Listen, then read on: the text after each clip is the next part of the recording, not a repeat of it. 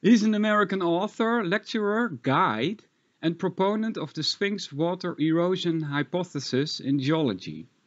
Influenced by R.A. Schwaller de Lubicz, in 1993, his work with Robert M. Schoch, a geologist and associate professor of national, natural science at the College of General Studies at Boston University, was presented by Charlton Heston in an NBC special called The Mystery of the Sphinx that won West an News and Documentary Emmy Award for Best Research and a nomination for the Best Documentary.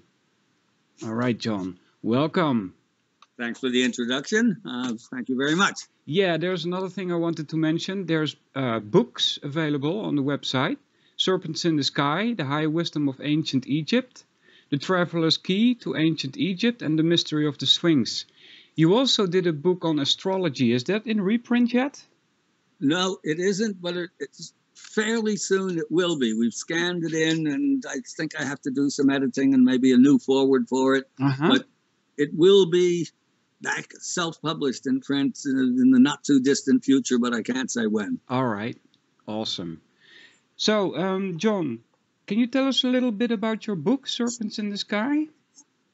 Yes, uh, Serpent, Serpent in the Sky is an introduction to the work of um, the amazing French genius with the unpronounceable name that you, in fact, pronounce pretty well, um, R.A. Schwaller de Lubicz, Uh-huh. Lubicz, and uh, who was uh, an extraordinary uh, character, of a mystic, um, Orientalist, practicing alchemist, a profound scholar, Pythagorean, all of those things. Uh-huh. Born in 1890 or 91, and a boy genius. He was doing lectures for the Theosophists at the age of 16, mainly on Pythagorean mathematics. Wow. And in the, I mean, he, he probably knew more ab- about Western, the, the Western uh, Hermetic disciplines Uh-huh. than anybody else in recent years.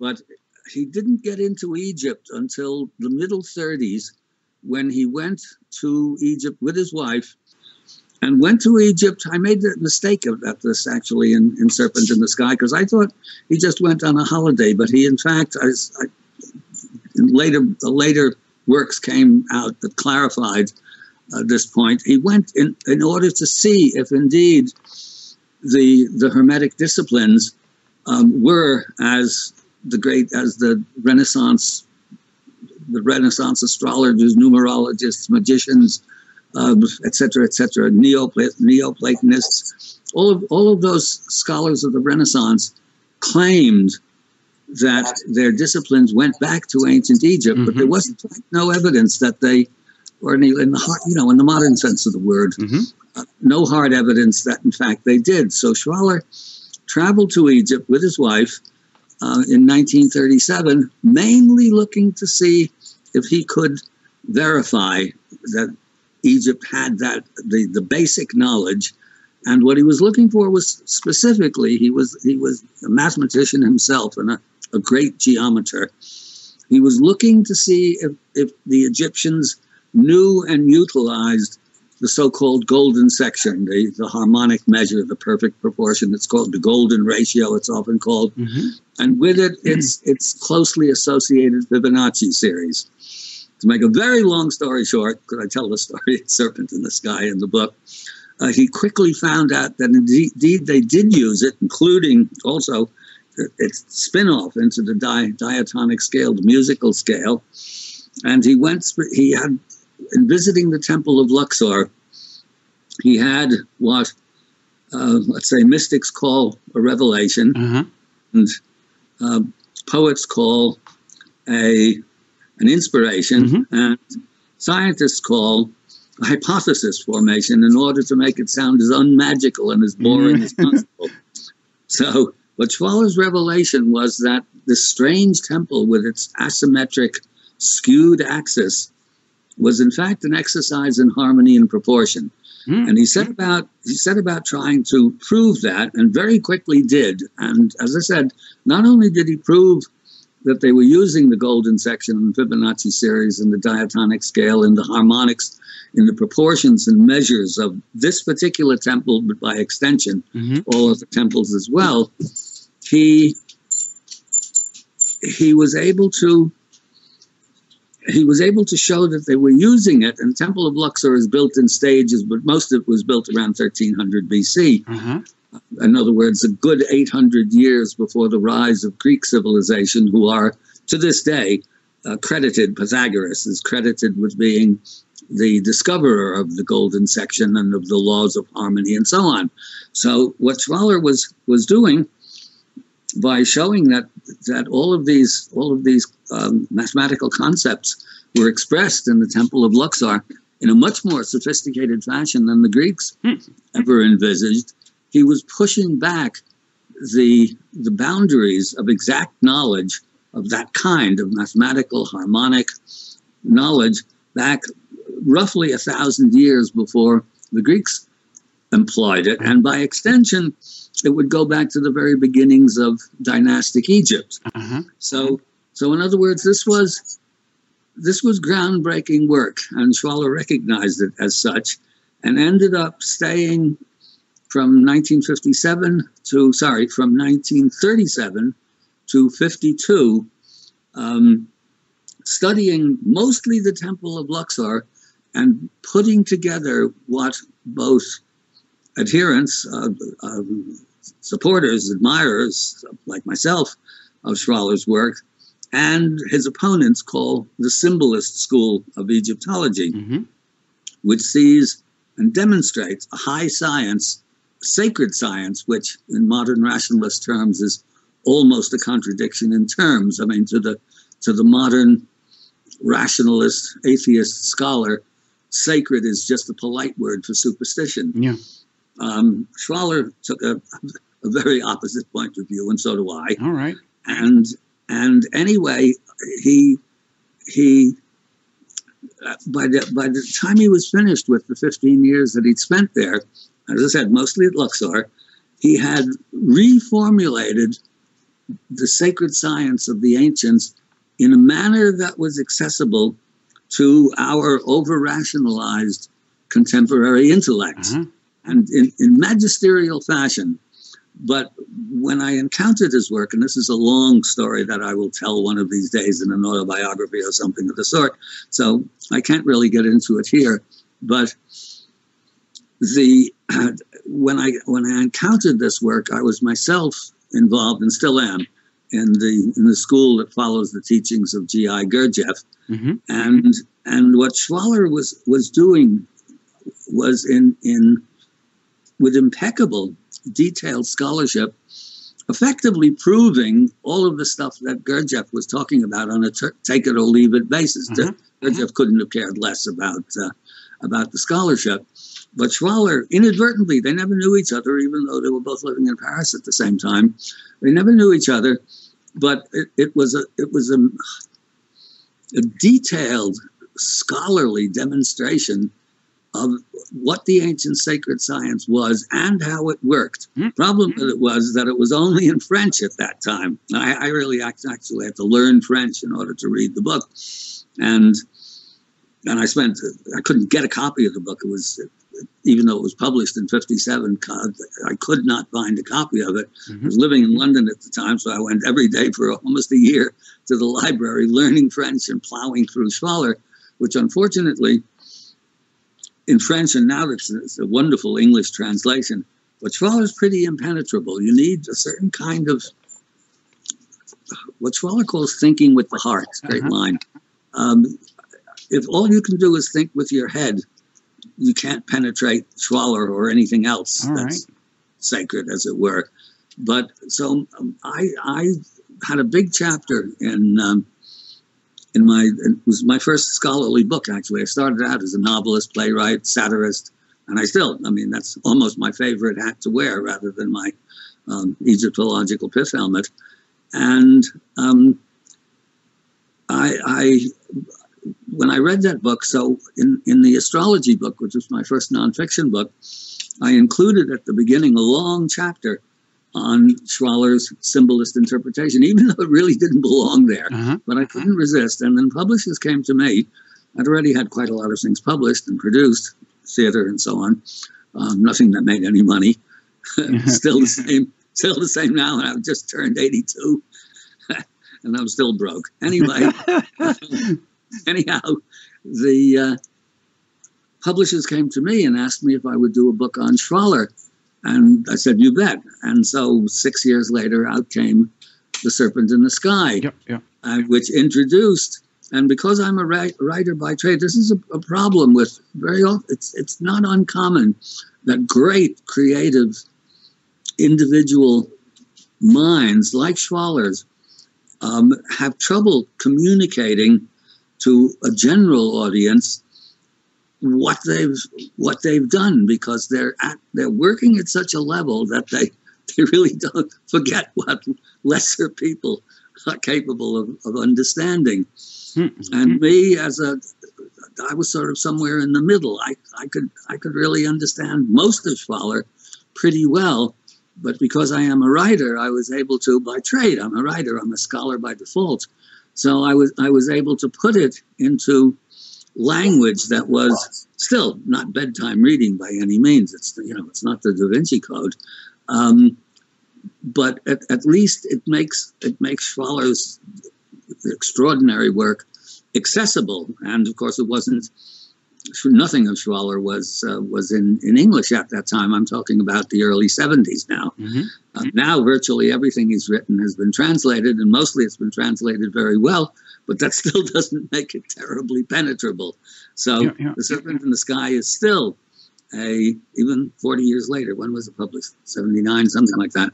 Is still a, a really valuable introduction to Schwaller. And if you if the Schwaller bug bites you, then you go and you read the, the great man himself. And I've given I've given everyone a good head start. And I often I often tell people I, I often start lectures because you know everybody's fidgeting around and getting in their seats. So I start a lecture off by saying that Egypt is like sex. As soon as I say that, I have everyone's attention. yeah. And they want to know why is Egypt like sex? Well, it's because you can read all about it. That's interesting. I mean, Serpent in the Sky and lots of other good books on Egypt, Schwaller himself.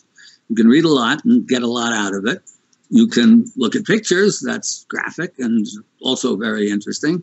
But the, the truth of the matter is that, as with sex, until you've experienced it, you really don't understand it. Mm. So, so with my trips, actually, what what these trips are, I mean, these are not these are not head trips. They're they're experiential, and at the end of a couple of weeks in Egypt, you understand anybody, unless you're emotionally defective and spiritually dyslexic, anybody with emotional faculties still functioning understands the difference between what we call progress and what I call shiny barbarism and what actually was in Egypt a great, great, great civilization and important, more important than any of the other ancient civilizations, not necessarily because it was more advanced than, say, China or India or Mesoamerica, any of the other great, great civilizations that we've had on Earth, um, but because there is so much left of it that you can still experience. hmm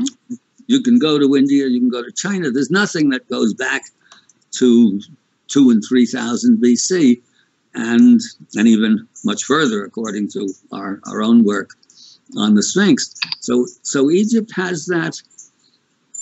Egypt has that is singular, is unique in that sense that you can go there, and of course, in certain of the other civilizations, there's no Schwaller to explain everything to you, and with me as as um, in Schwaller's case, uh, you know, with me as as his faithful disciple, you might say. Yeah, yeah. You mentioned the Sphinx, Yes. and uh, I believe Robert Schoch also comes into the picture. Is that correct? yes, that comes to Dixon. You pronounce his name correctly, as it would have been in Dutch, but yeah. he, he just he just calls himself Shock. Oh, okay. Okay, but actually, you're correct. That's how it should be pronounced. Um, anyway, yeah, the Schwaller writing the Serpent was, you know, was a, a major undertaking of its own. But in doing my research for the, for Serpent in the Sky, yeah. there was a long chapter in one of Schwaller's ancillary books, or secondary books, you might say, written shortly before he died called Sacred Science in, in, in English. It's now translated as Sacred Science, the King of the Pharaonic Theocracy. And in, in this book, Schwaller had a long chapter in which he discusses the textual evidence that Egypt went back much, much further than it's given credit for by today's academics, mm-hmm. who I call quackademics for mm-hmm. the most part. Um, yeah. And these these detailed these t- had accounts of long, long periods, thousands and thousands of years, during which Egypt was ruled first by the Neteru, which means basically the gods themselves. But the gods are not figments of superstition, as the quackademics would have us believe. They are the embodiments of cosmic principles. Egypt's science, Egypt is a sacred science, not figments of primitive imagination, mm-hmm. elaborately described. Um, and then, uh, long more thousands of years, when Egypt was ruled by the Shemsu Hor, which means the companions or the followers of Horus. And when you computed all of the dates, because they gave the regnal years of these rulers, um, you got something like 30 something thousand years ago. Oh. Of course, to the quackademics, this was anathema, since they think that prior to the rise of Egypt and the other civilizations of China and India, roughly of Mesopotamia, around 3500 BC, there was no civilization at all. And prior to 10,000 BC, everything is hunter gatherers, and that's the end of it. You know, there's no there's no civilization in our sense. There are no atom bombs. There's no striped toothpaste. There's no it's all barbarism back then.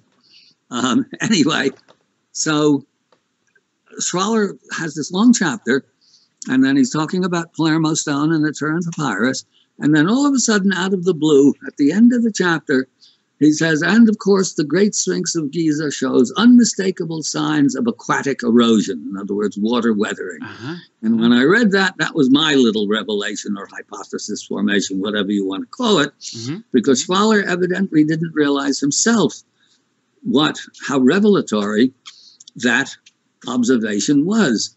Because the rest of his argument, the rest of his argument was, was um, was textual. And I mean, it's not science. You can argue from now doomsday over, let's say, a passage of the Bible or a, over a passage from Shakespeare. You can't turn it into science. There are better and worse explanations. Yeah.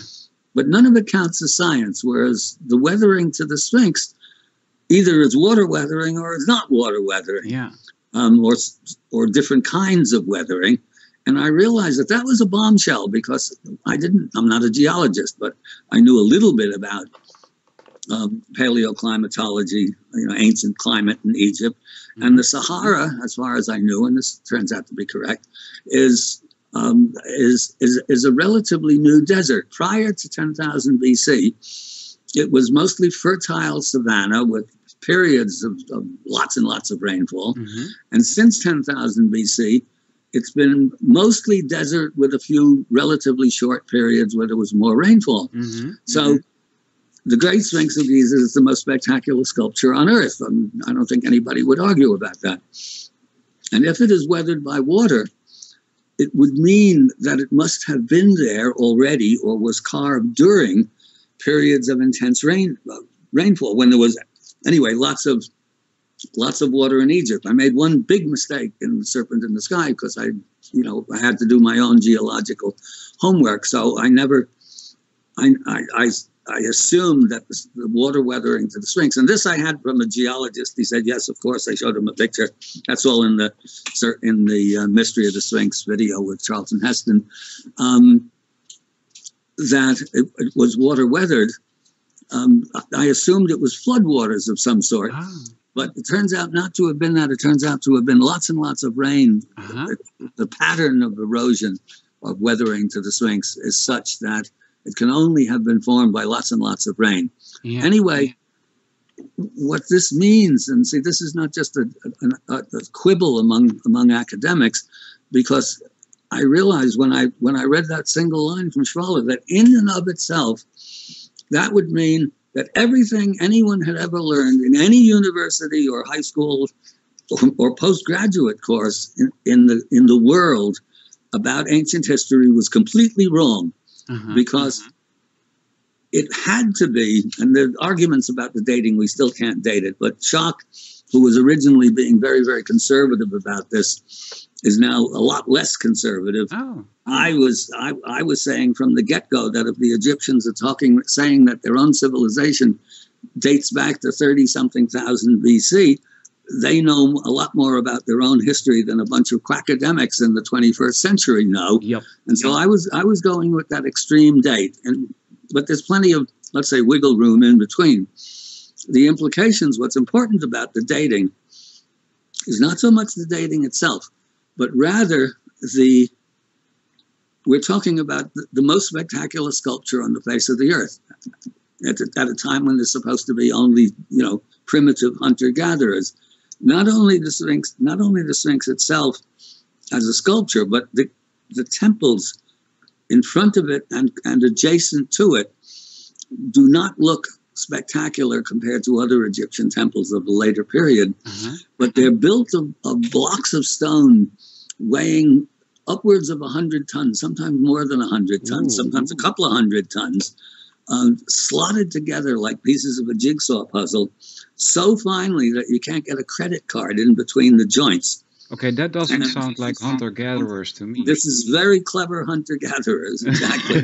and when we did the mystery of the Sphinx, we went to a project where they were working with the biggest cranes in the world, land-based cranes in the Mhm. world, building a cogeneration plant in Long Island, and we have an interview with Jesse Warren, who's the project manager of that, who was absolutely mind his mind boggled by the by the photographs we had, and he acknowledged that with the biggest crane that we now have, they could lift those blocks, but he didn't. He couldn't figure out how they would rig them in order to place them the way that they are in fact placed. So, in fact, what this means is not only were these were there great sculptors capable of producing the most spectacular sculpture on earth at a time when there's not supposed to be any civilization at all, but this non-civilization of hunter-gatherers had at their disposal a technology that we absolutely do not understand today, capable of producing architecture that we can't produce. Mhm. So this is why when I said before that this is this is revelatory. In other words, this means that everything you've ever been taught about about ancient civilizations and the rise of civilizations has to be thrown completely out the window. yeah, So yeah, so this is a big deal. yeah, And yeah. and of course we've been battling, we've been fighting this battle with the academic community since since since the 90s. Well, since the video came out, I've been doing battling them since 1979 when the book came out. But so anyway, you can see, I mean, what this does to our current view of progress as beginning with you know stupid old cavemen back in whatever it was, the the, the Paleolithic um, and early Neolithic Mhm. hunter gatherers and leading to our glorious civilization where we're poisoning the earth and skies and seas in front of our noses and the whole thing is is now actually as we say i mean it's hard to it's hard to read the news on any given day and see anything but but but a descent into into absolute chaos yeah. so so the the model of a of a true great civilization that had its act together, and now we get into the philosophy and the esoteric, esotericism of it. Um, I'll come I'll come to that in a second, actually. Um, but we have we actually can dispense with the view that for all of the garbage that we've we've in, infused our own personal lives with, the collective lives with, uh, it doesn't it wasn't always that way and Uh-huh. in fact if we my own conviction is that unless we unless we reinvent the ancient civilizations in a in a in a formulation that's consistent with our own 21st century minds, um, there's no hope for civilization at all. If we continue along the path that we're going, this whole thing is going to implode and explode, and maybe pretty quickly. As describes it, to avoid strictly particular religious terminology, which throws people for a loop. If it's you happen to be a Christian and somebody's talking Buddhist or vice versa, all of a sudden there's a big argument going. Hmm. So the way Schwaller described it was that Egypt was a was a one issue civilization. I mean, one one central idea fueled the 3,500 years of known Egyptian history, and in all likelihood went back a lot earlier than that because it's hard to imagine the Sphinx and the attendant adjacent temples as being simply the whim of, of, of genius artists. Mm-hmm. It was it was itself based upon a profound knowledge of not only of, of cosmic principles, but how to, let's say, make use of those cosmic principles in, in, in personal and in collective lives. Mm-hmm. The the I mean, there's, Egypt is a one issue civilization. This is not to say that people didn't fall in love or certain have wars, you know, the usual stuff that we put up with in our daily lives or that we're subject to in our daily lives. But it's, it's a one issue civilization, and that issue is the quest for immortality, uh-huh. for eternal life, It doesn't mean that the body lives forever. It means that we, through our own inner work, individually and collectively, arrive at a state of consciousness that does not die when our body dies. Uh-huh. Of course, the basis of all the religions, however corrupt they may be in their in- institutionalized forms, yes. which they are, all of them, some worse than others. Yeah. but Egypt, you know, managed, even though it was on a downhill track uh, from early on, it was at its a big mystery. Actually, it was at its height, very close to its beginning, and by the time the Romans, you know, took over, um, it was corrupted and and weakened and and so on. Mm-hmm, Even mm-hmm. so, it was still recognizable. A priest of the old kingdom, say 3000 BC, would have been able would would have been understood um, or had the same knowledge. Let's say had the same doctrine that a priest in the time of Julius Caesar and Jesus um, would have had. Yeah. So, in other words, it lasted 3,000 years. Ours is 250 years old, and it's disappearing by the day. At least everything that was any good about it is disappearing. And there's also pyramids found in South America and China. And uh, how do we view this? Is this is this like there was a one world culture thousands of years ago, or or what do we read from this? A um, couple of things actually. One, it's a big mystery why they would build pyramids in the first place. We don't know why they built them in Egypt, ah. and, and for the most part, we don't know why they built them in China or different in Mesoamerica. So there's, there's something, as I said, we really don't know why. Okay. And, and they occupy a, a kind of a, a, a, latitudinal belt. They're not, somewhere around 30 degrees of, of latitude, and almost all of them, and they're all over the place, they keep finding new ones, are in that belt. Somebody oh. knew something and erected these strange, these strange um, structures more or less in a line with each other and not far to the south and not far to the north. We don't know why. Huh. But yes, not necessarily just because of the pyramids, but there are lots and lots of other um, of other reasons to postulate um, a, a, global civilization that went down under cataclysmic conditions, two separate cataclysmic conditions. My colleague Robert Schoch has is very much into this aspect of of it, um, mm-hmm. and he's got science. He's got the science credentials behind him to to actually pursue it, and I don't. And my interests are more the philosophical and spiritual sides of it, anyway.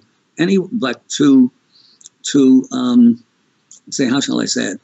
The there's an event that happens around 11,000 BC, probably a comet or or some sort of an asteroid or something that that penetrates the atmosphere and and actually the ice age is in full swing at that time creates an even colder ice age for about a thousand, twelve hundred years uh-huh. and then all of a sudden something happens and this is getting a lot of scientific credibility behind it something happens Schoch is pretty well convinced and there's a, a, a physicist named um, Anthony Peratt who works at the Los Alamos, um, you know, the government space laboratory, who who are who are getting convinced, and they're not the only ones who've thought of this, but Peratt's work and Schoch's is, you might say, the most.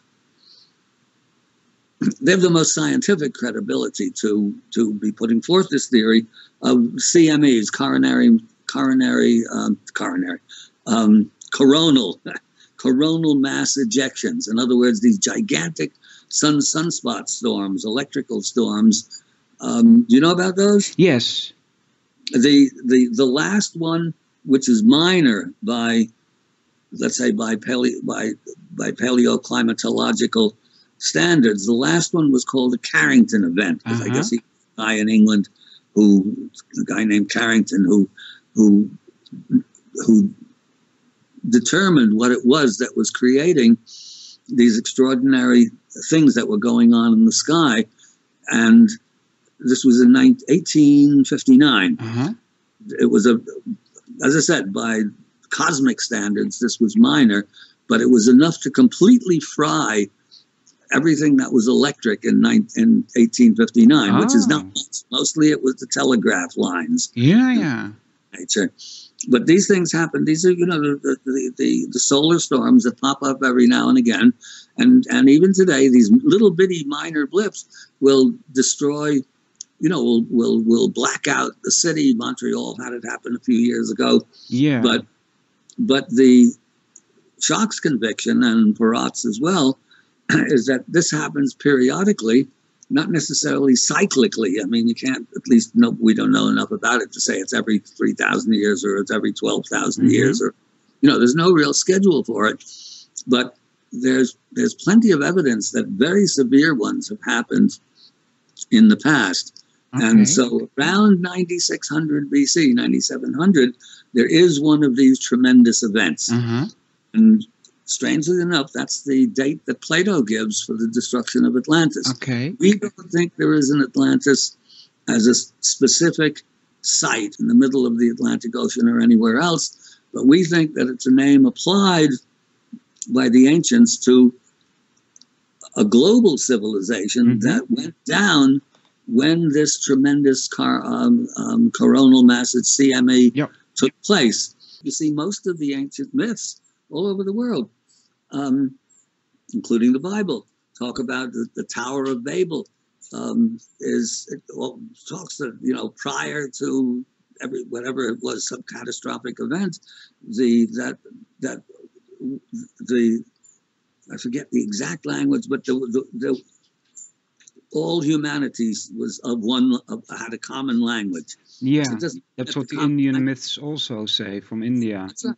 Yeah, yeah, all, they all say that, and that, it, and, and I think through Laird's work, we can now say that the common language was not necessarily Turkish or you know or or Peruvian or anything like that. It was cosmolo- It was cosmology. Ah.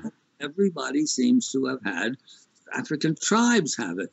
Um, Huh. Eskimos have it. All sorts of things. It relates to a certain extent. Another sort of important book in all of this, which doesn't get into what Laird gets into, but is you probably know that one, Hamlet's Mill, by uh, the two historians, MIT historians of science, um, Giorgio de Santillana and uh, and Hertha von Dechend, where they're showing that there's a common astronomical knowledge Uh-huh. um, pervading the, the the the the legends and the myths of the entire world. Yeah, yeah, They yeah. get, I mean, they're historians of science, so they don't broach the possibility of astrology.